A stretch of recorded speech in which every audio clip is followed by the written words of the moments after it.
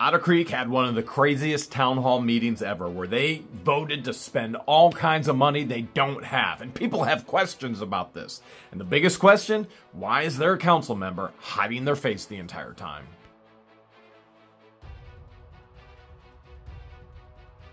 Joyce Weidler wants to know, why did Gail keep her head turned towards the wall? Did Russ the Sus have a bad case of halitosis? Um, could it be the cameras? Everything is going to be speculation.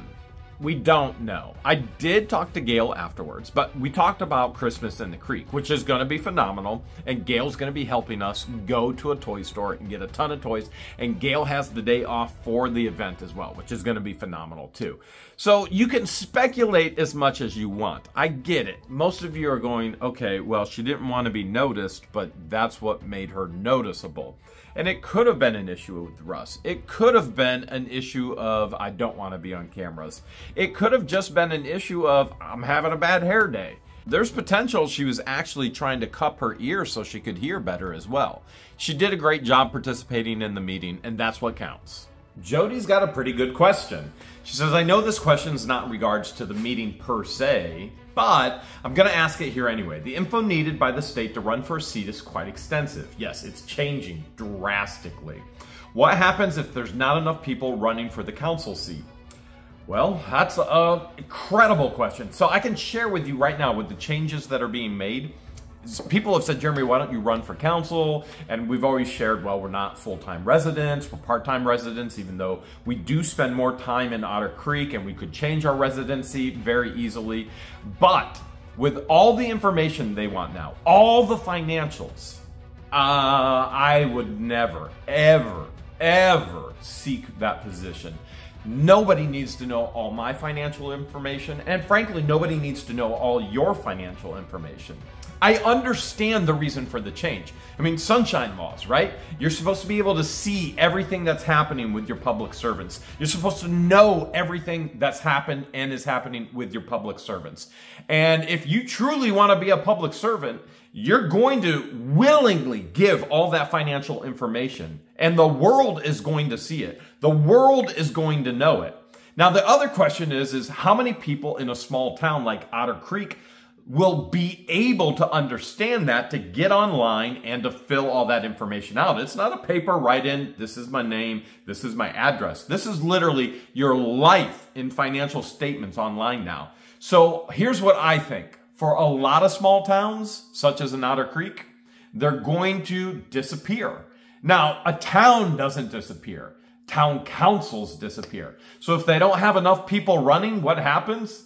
I assume the state comes in and shuts them down, or there was another town nearby. They couldn't get enough people to actually run. And what did they do? They put it on the ballot to unincorporate. And guess what? They're still doing fine today. Just nobody wanted to go to those town hall meetings. Rackison Forever wants to know, uh, did he pay up on that bet? Rudolph, you know who he's talking about, right? He's talking about Don the Con and the whole bet about the water with everything that was going on in the meeting, honestly, I forgot to even bring that bet up and the $50. So I can share with you that Don did not give me $50 based on the water bet. If you don't remember the bet, here's another look at it. I'll bet you $50 it'll pass any any test you put it through. Eller Torres wants to know, hey, what the Hales? How come no one's in jail yet? Well, Eller, it's not like we can just go knock on Russ the Sus's door and go, hey, um, you just did a corrupt action taking $7,500 without anybody's approval from a fund that you can't take it from and you spent it and didn't tell anybody about it. You're going to jail. We can't do that, nor can you. So there's a process through all of that. I mean, that's one of the beauties of living in the United States of America, right? There is a legal process. Now, most of the time that legal process works. Sometimes that legal process fails, but it is in the process. The state has all the information. It is a long process, but I do believe at the end of it, it will be the right process. In other words, consequences that are appropriate will follow. The Mimi of Seven says, Why did Don and Russ change seats? And why did Gail keep her head turned towards the window during the meeting? All right, we already covered that second one. We're just going to go with the changing of seats, okay? Uh, I don't know about you guys. I, I like changing seats up a little bit. Sometimes I'm over there in the beanbag. Sometimes I'm over here in the La-Z-Boy. Uh, I think the aspect truly is, though, for safety. If you recall in last month's meeting, and you can go to our playlist, Otter Creek, it's in the playlist tab on the channel, you'll see within the first few minutes, uh, Russell was being extremely disrespectful to Belinda. And I think those changes were made positively to, to protect Belinda and, and potentially even protect Russell from himself. Now, that may have caused the issue in the secondary question because now you have Russell sitting next to somebody else and somebody else is doing this. And frankly, they may not want to be near that person. Again, I can't claim to have any knowledge on this. It's only speculation. And speculation probably isn't going to be that helpful in this situation. But I do believe overall it was for protection of Belinda and protection of Russell. Luann wants to know why didn't anybody ask who signed the check for the survey? I think Luann is referring to the study, and I think she's referring to the $7,500 that Russell spent without any permission. That's the only thing I can come up with thinking about this past meeting. And she's asking who signed that check? Well, from my understanding, that information wasn't given. My understanding was it must have been Russell. We did hear in the meeting that Russell met with another individual multiple times about this, and that Russell had all the information, and he was the only one that knew the information. So I'm going to guess Russell, or maybe Russell had Mary cut the check. So right now, Mary, I know, had authority to write a check. I don't know if the mayor, if Russell actually had authority to write the check. And if there's two people involved in that check, that's collusion. RV there yet wants to know, Jeremy, why isn't Don the con? Why didn't he demand all this stuff from Russ the sus? Why is he always crying about the things that he never had before? Well, that's the ironic part about this. Because if you go back through our playlist and you go through the Otter Creek all the videos, you'll see that Don was asking and always complaining about everything as well. Now, Russell never gave him anything. Madam Mayor Therese is giving everything. Kind of like what the Hales fans. Look at all this here. This is a mountain. This is one day's worth of mail for Christmas in the Creek. Man, your guys' generosity is absolutely it's amazing, amazing. And Madam Mayor Therese has been very generous with all information, complete and total transparency. She's trying to make sure that everybody has everything they can to make the wise decisions. Don is now, wait, hold a second, let's back up. Do you remember when we showed some of the 6,000 emails? And Mary Mary was writing Attorney Worm saying, uh oh, Don found out we had a secret meeting. What do we do? They had an illegal secret meeting. Mary, Russell, and Don comes in. She tried to lock him out. They were at odds like this, nonstop, at odds like this. How weird that now Don and Russ are like this. What in the world? I mean, I just, I don't get it. What in the world has brought these two mortal enemies together? Is it what the Hales? Is it Madam Mayor Therese? I mean, I didn't think any of us had that kind of effect on people, but something has taken these enemies and they said, you know what? The enemy of my enemy is my friend. Mr. John wants to know, why does Town Hall have all the bookcases and the books and the TVs, etc. gone? So Mr. John, one of the things they walked into, that new administration, they walked into a mess, a complete and total mess. And they've tried to clean it up. And part of cleaning up that mess is actually trying to decrease expenses and increase income. It's the only way you're going to be viable as a town, as a business. Personally, you have to, in your own life, you have to increase your income, decrease your expenses, or you're going to go broke. You're going to go bankrupt. So those old TVs, they're garbage. Nobody uses those anymore. As a matter of fact, even in a town like Otter Creek, I'd be willing to bet Don $50 that there isn't a single tube TV in any of these homes in Otter Creek. I bet they all have flat screens. So those are garbage. Now, the the the books. The books were donated to the individuals in the town and other individuals that could use them. Uh, there was talk of jail. There was talk of a, a, a multiple different areas where people could use those books because nobody was coming into the Otter Creek Town Hall to read books. Nobody. So they were just sitting there getting pooped on by. uh, We we have a major lizard thing going on here in Florida, and we also have palmetto bugs, and they leave these little. They look like mouse turds, but they're not. They're lizards and they're palmetto bugs, and they get in everywhere in every building. They're, all those books were being destroyed by the bugs and by the lizards and there was nobody taking care of them. We don't have a paid librarian. And so now they're in the hands of people that are actually going to take care of them. Now, it's a great thing that the town of Otter Creek came together to build that library, but nobody used it. So that's been removed. And then all of the shelves have been removed because it became an issue with space, even getting people in there during a town hall meeting. And you and I both know it wasn't because the townspeople were showing up, it's because outsiders were showing up. It's very difficult for me to admit this, but the reality is people who don't they don't live in Otter Creek, they care more about Otter Creek than those who do. Silver Auntie wants to know. So, did Russ the Sus say he'd play the Grinch? I think green is really his color. Um, that might be the color he's usually. No, he's usually wearing denim, right? Isn't it- Denim or beige? Yeah, it's usually denim. Or is it light tan? I mean, it could be in there. Um, he smirked. Usually, when I'm at a town hall meeting, all that happens is his face gets redder and redder and redder. Oh, he started shuffling through paperwork. Like Well, he he'll start shuffling, pretending he can read, and, and he just gets so mad. Jeremy Hales is here. I almost saw, I almost saw the corner of his of his lips go up and smile. So even Russ the Sus found the humor in it. He has not given us an answer yet. Now the follow up question is, well, Jeremy, if he actually said he would do it, would you let him?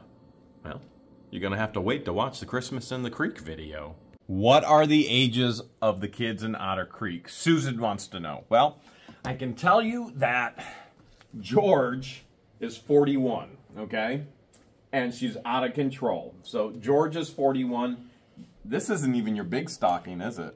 It's one of my many big stockings. No, Shout I've out got- to our fan who made that. Uh, I've got and yours is hanging up on the wall. giant, giant stocking coming for you. So let's think about the age of the kids in Otter Creek. I know of a 16 year old across the street.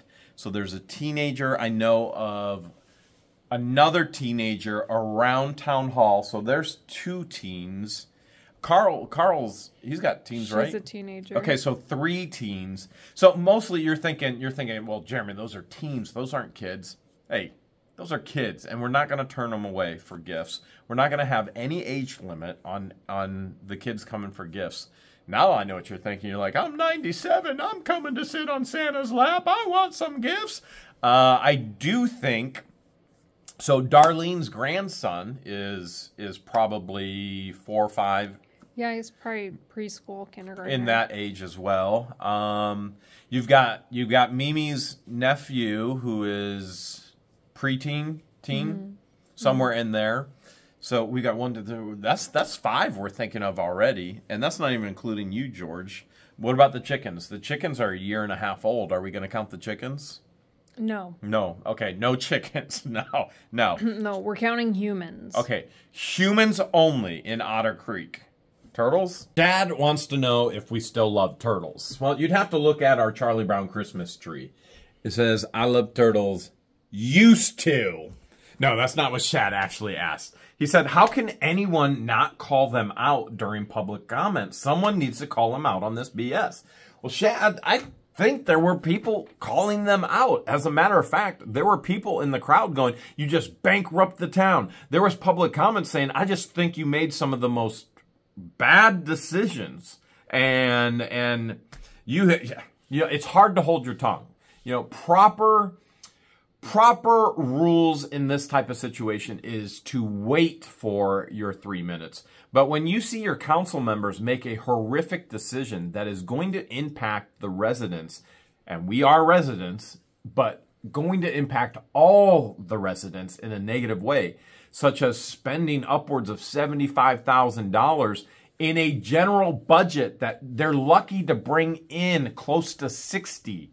So they just added 75 on top of that. If you go, well, they already had a budget for an attorney. They had attorney Worm. They were paying attorney Worm $150 an hour. And I get it. He was he was screwing them over and Mary was screwing them over and all they were doing was gossiping and they weren't doing official business. But now they're paying $27,000 a year for legal representation, whether they need it or not, which we both know they absolutely need it. So there were individuals actually calling them out. And you even had your mayor, the leader, going. And, and I think at one point somebody said, You just bankrupt this entire town. And she went, Yep. If you go back, you watch the video, even the Madam Mayor is trying to call out the council members as this is happening in a very respectful and polite way. Neil Block wants to know Jeremy, what happened to the office that uh, George gave you? You mean Deanna's office? this is a pretty nice office you got here, Deanna. I got kicked out, so AC went out in the full building, and this wall unit pumps out AC like nobody's business. So Deanna moved in, and uh, I got booted out. So I'm just a visitor right now. I'm a guest. This is the official eBay room. This is the official eBay room right now. But Gail really wants to know, I wonder if he met with Belinda, like she offered at the last meeting, meaning Don the Con. Belinda told Don, you can come in, I'll show you anything, I'll go through everything with you. And she showed him how to get all the attachments. Okay, so Gail, here's what I have heard. Take it for what it's worth, okay?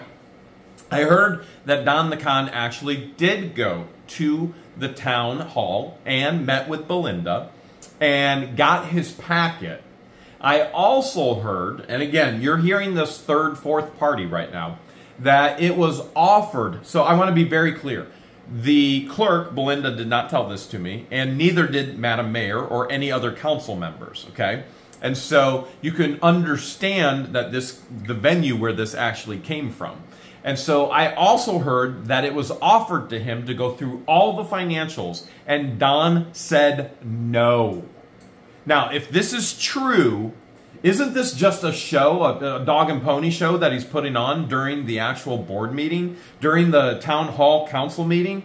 He had the opportunity. He's asking for all this stuff. Belinda offered it to him as he came in. Again, you're getting this third, fourth party, fifth party from me.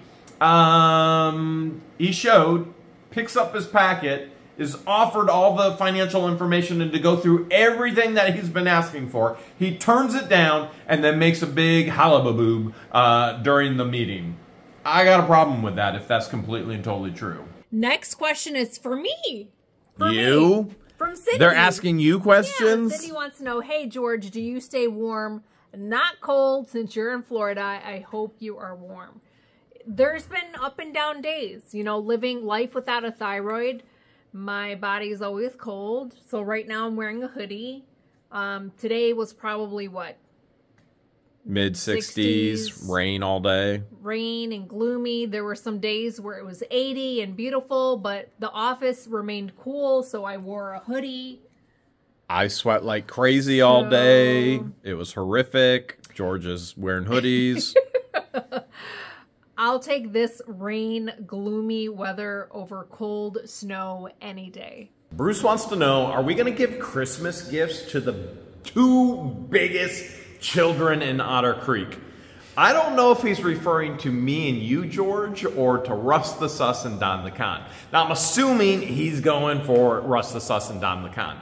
Um, I don't think, first of all, that Russ the Sus or Don the Con will be on the property. Remember, this is not a town hall uh, initiated or town hall sponsored or town hall, you know, there are people who go, well, this is town, this, you can't do that. We can do whatever we want. We're hosting it on our private property. This is a private function that we're opening up to the public. And there are some of the public that probably aren't going to arrive, such as Russ the Sus, Don the Con. And there are those that can't legally show up. That's their consequences for their actions. Uh, if we were to get them something for Christmas, I'd get Don hearing aids, and I would get Russ uh, head and shoulder shampoo or tick and flea remover. That's what I think they both need for Christmas. Keep in mind, this party has been hosted at Town Hall in the past, and they never showed up then either. So, what is the likelihood of them showing up now?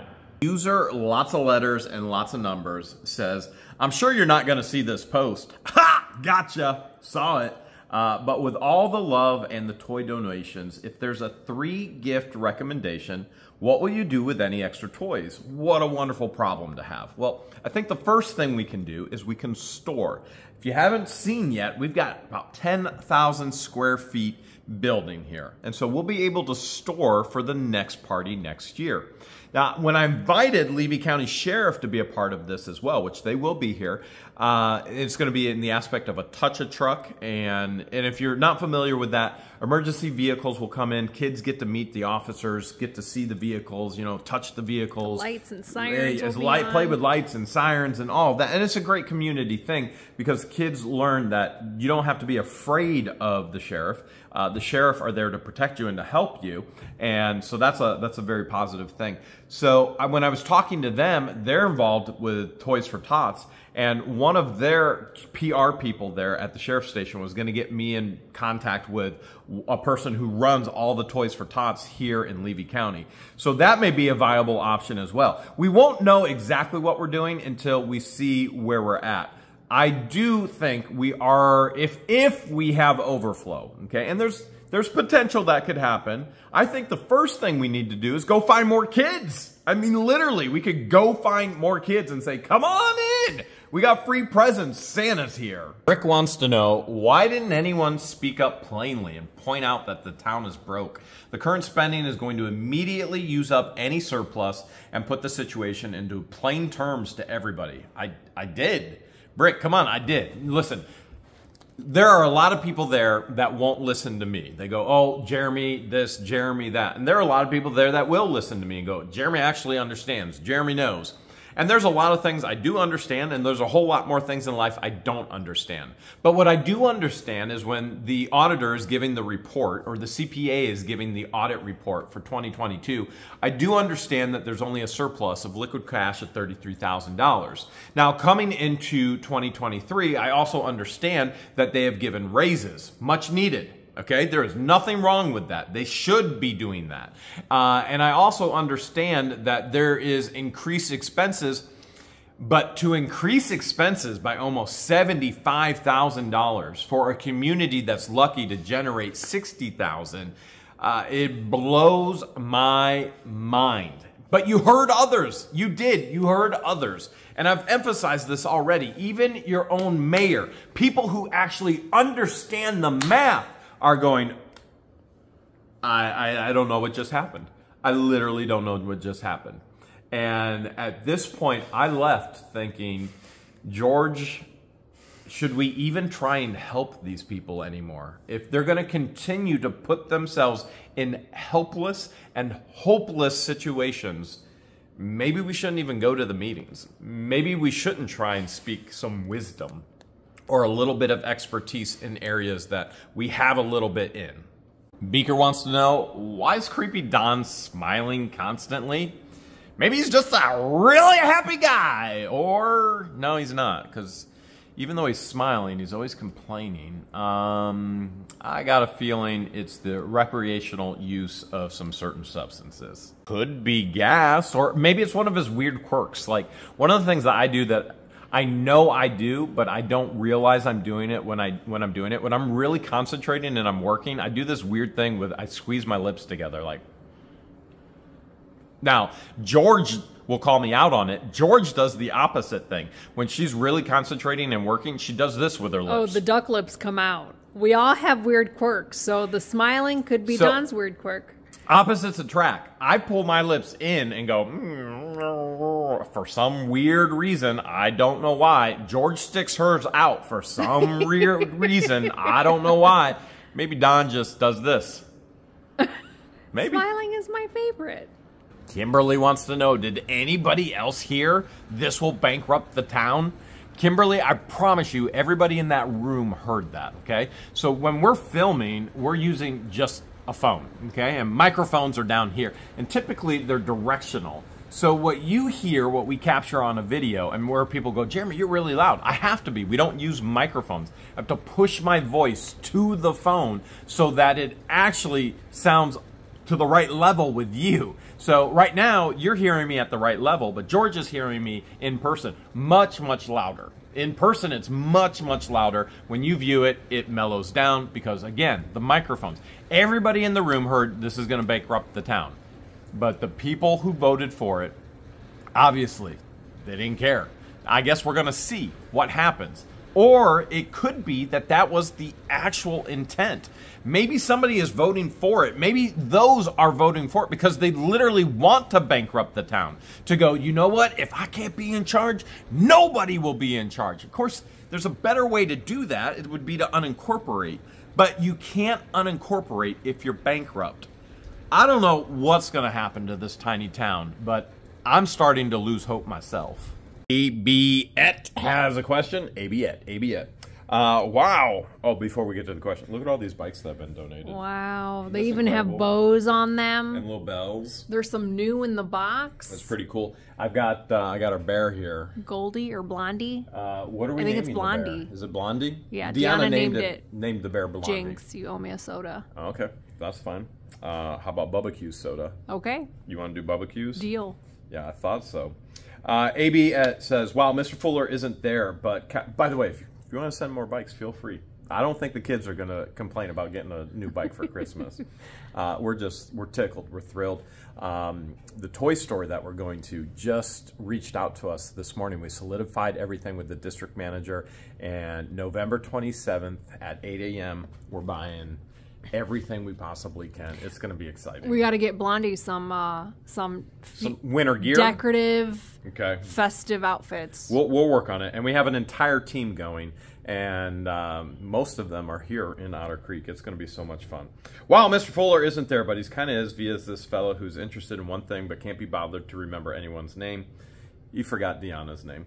Uh, anyone, or Belinda's name as well. Let's just keep going on. Da da da da da da da. Uh, one place of it. Um, uh, one has to wonder why is this man so obsessed obsessed with what Zim does on his land? Seems to be a petty thing, and the Strong family are just jealous or something. Listen, I don't understand the whole feud, okay? Now, what I do understand is my feuds. So I have a feud with the town, Russell and Mary particularly. Theft, okay? So this is all blown up from a two inch pipe. Uh, I understand being stalked um, and my life threatened and being called racial slurs and things along those lines from two individuals who legally must be at all times, even if they're in the street particularly if they're in the street. The law says they must remove themselves. They must remove themselves, which normal people would never put themselves in the middle of the street because they know there's a civil protection order that has to be 500 feet away. I understand my issues. I don't understand this underlying Zim versus the Strongs. Um, property issues, but from my understanding, Zim's offered to pay a premium on that little tiny piece of property. Why haven't the Strongs received it or accepted it? That I don't know either. The other thing that I've heard, and again, it's it's skepticism, but uh, Russell's putting it up to him. But but really, does Russell have that kind of power over a local family, an entire family? I look at this man and I go, you have no power whatsoever. You think you have power because you turned people's water on and off. That's not power. That's an abuse of the position of mayorship in the town and what he did with that position. I don't get it. I don't understand it. Maybe someday I will, but as of right now, I don't get the feud over this little tiny triangle of property either. Susan wants to know, Jeremy, can't the old schoolhouse be used as a community center? And the answer is no. And I've answered this question over and over and over again. And I realize the way YouTube works, not everybody sees every single video. And at the same time, there are people who go, well, Jeremy repeated himself. He said that in the last video. Well, the way YouTube works is YouTube shows the video to millions of more people, and millions of people are coming in, and millions of people haven't seen anything. So, to answer that question, number one, the grant can be used for only two things. No matter who types another question, can it be used for? The answer is no can be used for two things sidewalks or a community center. And it has to be a new build. Now, they cannot use this facility for a community center. Why? Well, number one, it's got to be a new build. Number two, it's privately owned. I own it. It's not community owned like a town hall. This is private ownership. This could never be a community center unless I donated it to town, which I will not be doing. I have plans for this for another nonprofit organization once I pass away. This is not going to the town. It is not a community center. It doesn't mean that I can't host and invite people in, such as with Christmas in the Creek. And it could be shelter, as it was during the hurricane. Uh, we can do lots of things. We have friends over here all the time. We have pizza. We laugh. We, we've played games. You name it. But to the definition of a community civic center, community center, that's got to be town owned, which means everybody has ownership and reality nobody has ownership because nobody owns a town and once it's dissolved those assets have to go somewhere else into a like-minded uh, Uh, I guess you could say could go to the county or it has to be auctioned off and then that money probably flows into the county. I'm not sure in this aspect what would happen, but this schoolhouse cannot be used. Now, if they attempted to purchase it before I actually purchased it, which everybody had the exact amount of time, I mean, we didn't even know it was for sale. Had no clue until we heard that the church needed help. We offered the church the help. They denied the help that we wanted. Then they cried that we bought it. When the owners said, hey, the church is screwing us over, they won't pull the trigger. We got to take care of our clients. We need the money. And I said, hey, you guarantee me 100% you're not under contract with the church. And they did. They even gave the church this much time. And I told George, that pastor will be calling us. And he never, ever called. Now they cry that we own it. So could it really be used? I mean, you could ask the same question. Can't the church be used as a community center? Christine Roman Noodles says, what? John Crook pulled out a pew pew on someone in the community? Christine, here's what happened, okay? We weren't here. It was after a town hall meeting. Apparently, things got pretty heated. Now, remember, we weren't here because it was flip-flop on the seasons and there were witnesses. And so you're going, okay, well, this had to have been reported and he had to go to jail, right? Well, it was reported, but it was not recorded. So if there's no proof of it actually happening and you're reporting it, that comes to a point of going, well, that's hearsay. But there are still witnesses that saw it, credible witnesses, one particularly who reported to the Levy County Sheriff. You know the crook lies to the police. He learned that from Lynette. Remember when he pulled out a firearm on me and then he told the sheriff, I didn't even have one. And he goes, uh, John, I already saw the video. Oh. The Mox DJ says, Can you not find a temporary home for Town Hall? Then knock Town Hall down, rebuild on that land so you have a new Town Hall building with primary use of a community center. Uh, I actually think that's a pretty smart idea. I'm sure they could meet. I, potentially, they could ask the church if they could meet there. Um, you could not. I know your next thought is, well, can't they meet at the schoolhouse? The answer is no, because it's a. Well, actually, they probably could. See, I was going to say no because there's civil protection orders on two residents, but those those residents can't go to the town hall meetings anyway because I'm there. So it wouldn't matter if it was here or there. But at the same time, I feel like the church may be more neutral. Of course, now you're thinking, okay, well, what about those who don't want to go to a church and they're anti church? Okay. Um, I guess we could do this with every location. We could pick a location and go, well, people won't come because of this. Pick a location, people won't come because of this. Reality is, people aren't coming as it is anyway, right? So I think there is some wisdom in, in what you're saying. Can you just knock the old building down? And it just got brand new air conditioning, very expensive air conditioning. Can we salvage that and save it? And can we build a brand new building? I mean, you might be onto something, but you have to understand the grant, the people who understand the grant, the grant writers and, and things along those lines, they're the ones that are going to know all the rules and regulations. There are a ton of things you can't do with the grant, and only two things you can do with the grant. Restoring the Love says, why can't the town use the old firehouse building next to Town Hall? Uh, the town can enlarge the firehouse use as a community center, restoring the love. Minister JR, CEO, Square One Philly. Um, that's another good idea. So they do have another facility over there. Again, it's going to come down to the aspects of what they can do and can't do with the grants. Remember that grant is very, very specific. Very specific. It's very limited. And being said that it's very limited, you also have to understand that it's going to cost a ton of money to upkeep.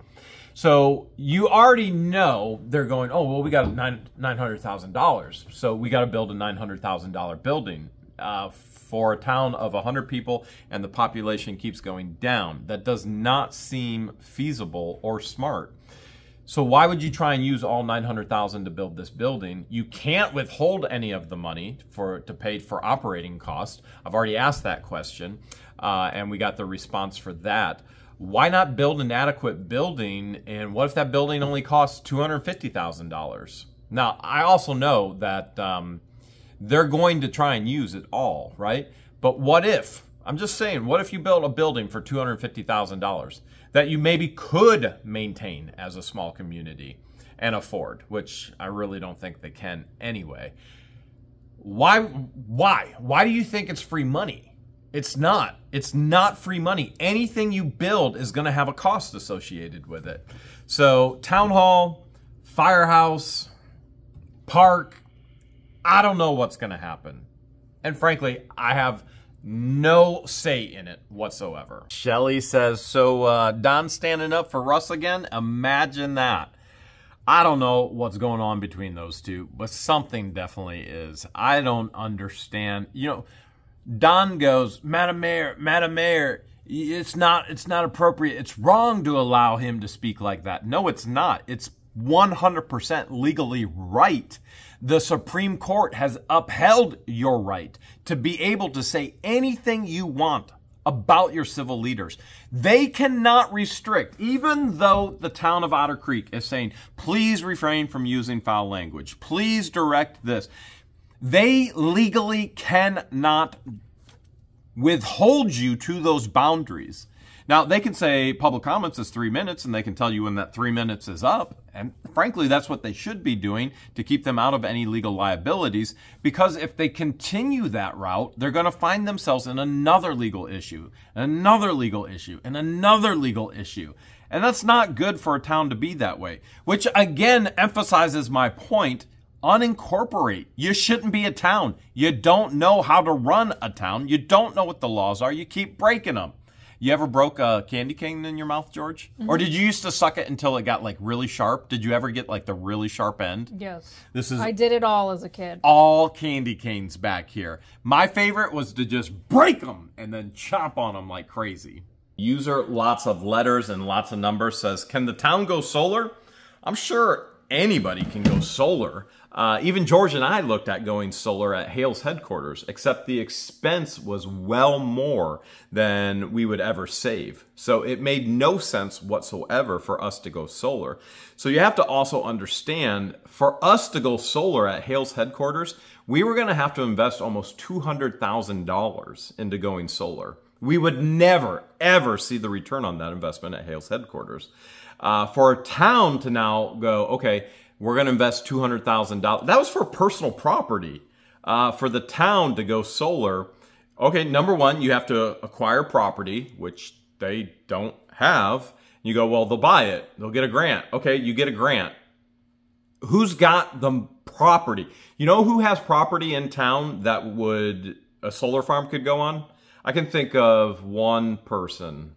You know who that is, George? They have 70 acres. It would have to be cleared. It'd have to be a solar farm. Do you know who that is in town with 70 acres? Bruce, Uh, yes. guy with the middle name of Bruce and Margaret. Bruce and Margaret. They've got 70 acres. And last I checked, it is not for sale. So can a town go solar? I'm sure there are towns that can go solar, but they can't do it if they don't have money, and they can't do it if land isn't for sale. Karate Mom, what the hails? She didn't say hails. What the hails does he mean, meaning Don? The public cannot talk down to board members. Council members are just townspeople. The townspeople do not have to like or agree with the members, and they have every right to speak their mind, their beliefs, and their feelings. Karate Mom, you just gave Don the whah karate chop. Juliet wants to know why doesn't anybody in that town want to build and make the town better? The only answer I- have heard is they're scared if there's any improvements that their taxes will go up. And that doesn't make any sense to me because improvements at your neighbors isn't going to drive taxes up at your place. So this used to be a booming town. It was the central place. It was the center of Levy County. And then business went away and then people went away and families went away. So all of that good left what was remaining. And there are still incredible people here. I don't know why they're afraid to build. I don't know why they're afraid of change. Maybe us acquiring the schoolhouse will help that fear and the restoration of the schoolhouse help that fear of change, you know, kind of die down a little bit. But building and growth, uh, it- the only opposite to that is is death. And this town can't survive without growth. Brian says, Jeremy, this might sound bad to some, but why don't you just bankrupt the town? Brian, let's be honest. You saw the videos. Do you really think the town needs any help from me to bankrupt? They're on that route already.